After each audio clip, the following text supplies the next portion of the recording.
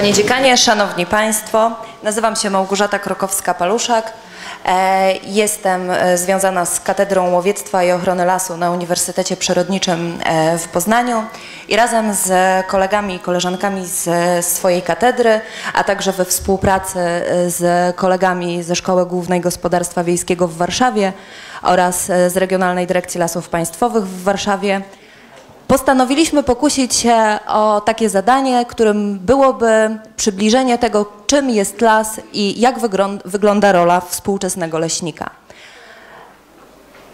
Myślę, że każdy z Państwa, także i my, wielokrotnie zastanawialiśmy się nad tym, e, jaka jest funkcja lasu. E, zarówno polityka leśna państwa, jak i ustawa o lasach mówią o trzech podstawowych i najważniejszych funkcjach lasu, którymi są funkcja ekologiczna, funkcja produkcyjna i funkcja społeczna. Natomiast już coraz częściej słychać głosy, które mówią o tym, że to właśnie funkcja społeczna przewyższa swoją wartością funkcję produkcyjną. Dało nam to odrobinę do myślenia.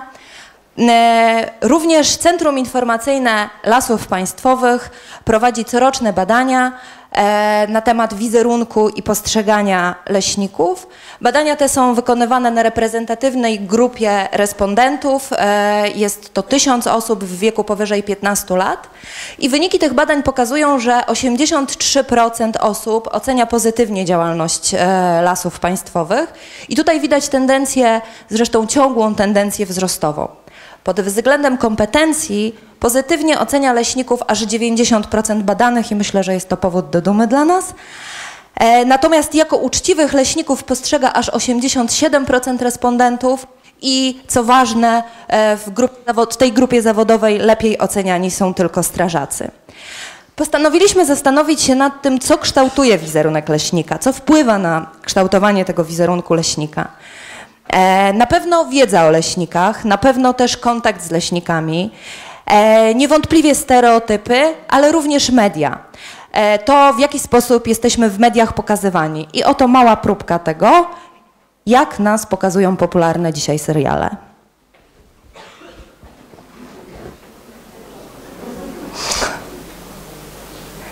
Nie ma dźwięku? Nie, no to bez dźwięku nie ma sensu.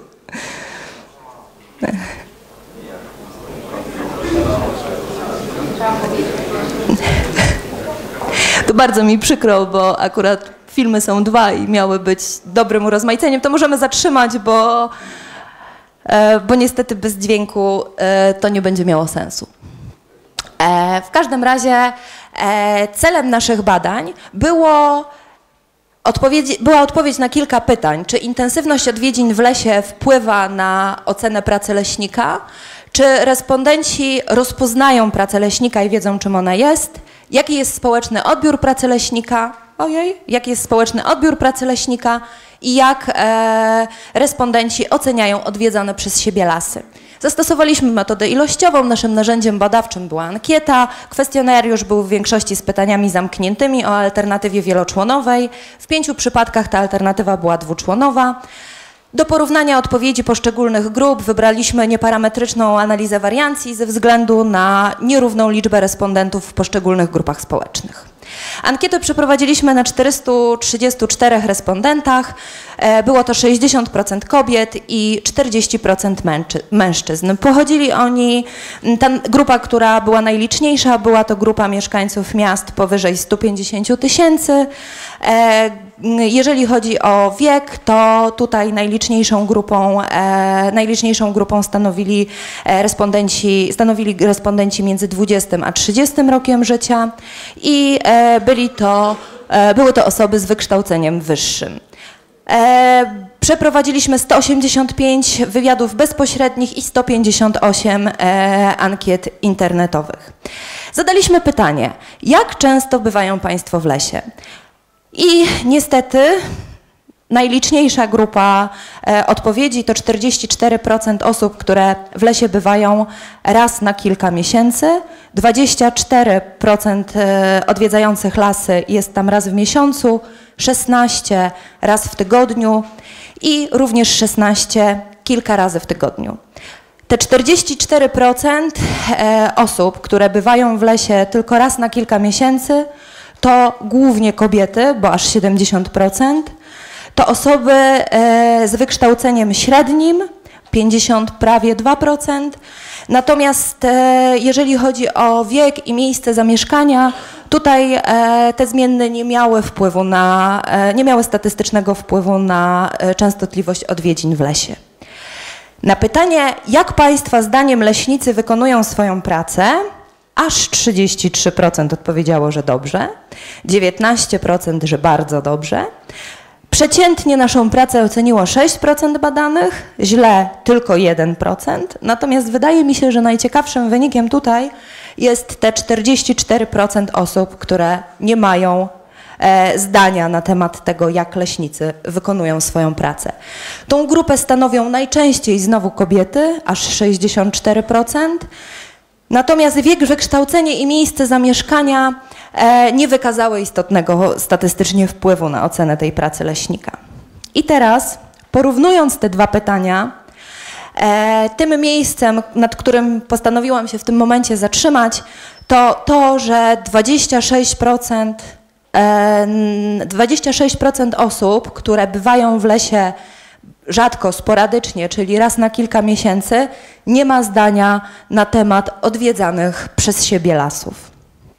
Kolejne pytanie dotyczy na temat pracy leśnika, przepraszam. Kolejne pytanie dotyczy tego, jak oceniają Państwo odwiedzane przez siebie e, lasy.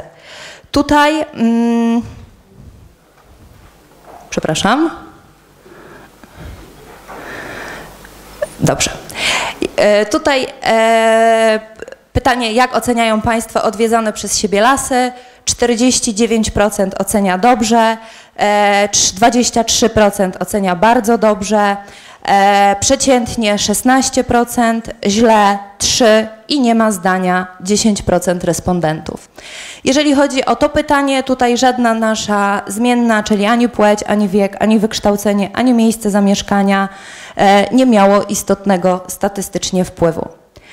Pytanie, czy mieli Państwo styczność z pracą leśnika? I o ile większość, bo aż 55% miało, o tyle aż 45% ankietowanych nie miało styczności z pracą leśnika. Czy kiedykolwiek widzieli Państwo leśnika przy pracy? 57 widziało, ale 43% e, naszych ankietowanych nie widziało leśnika przy pracy. Te 43% to znowu głównie kobiety, bo ponad 70% to respondenci z wykształceniem średnim, którzy stanowili prawie 53% i e, mieszkańcy miast powyżej 150 tysięcy. Wiek nie miał tutaj znaczenia. Jeżeli chodzi o porównanie e, styczności pracy leśnika z tym, jak e, są odwiedzane, e, jak są oceniane odwiedzane przez respondentów e, lasy. 44% badanych, które odwiedziły las, oceniły pracę leśnika dobrze bądź bardzo dobrze. Zaledwie 1% mających styczność z pracą leśnika źle ocenił e, odwiedzane przez siebie lasy. Czyli widać, że im częściej w tych lasach bywamy, tym tak naprawdę lepiej je oceniamy.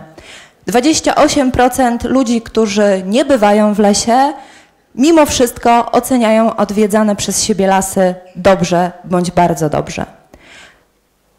E, jeżeli chodzi o ogólne wnioski e, nasz przeprowadzonej przez, nasz, przez nas pracy, te najciekawsze, to fakt, że aż 44% respondentów bywa w lesie nie częściej niż nas raz na kilka miesięcy. I myślę, że wszyscy odczuwamy dość wysoką presję społeczną na lasy, natomiast e, ten odsetek 44, te, te, te procenty 44 są myślę wysokie i pokazują, że jeszcze sporo pracy przed nami.